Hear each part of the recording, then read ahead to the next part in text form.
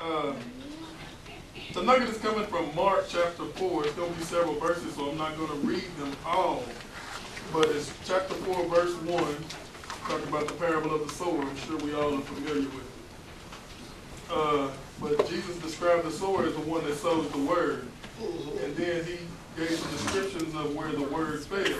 So the title of this is uh, What Condition is Your Field In? All right. Uh, the first thing that he talked about was that the seed fell by the wayside.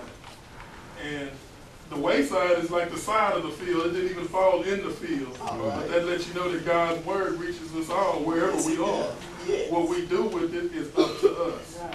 But Satan is always ready to kill, steal, and destroy. And the Bible says that he came in immediately and took the word. Uh, then it said some fell on stony ground. Sometimes I don't know if our roots are deep enough because they said it fell on stony ground and it didn't have it didn't have deep enough roots up in there.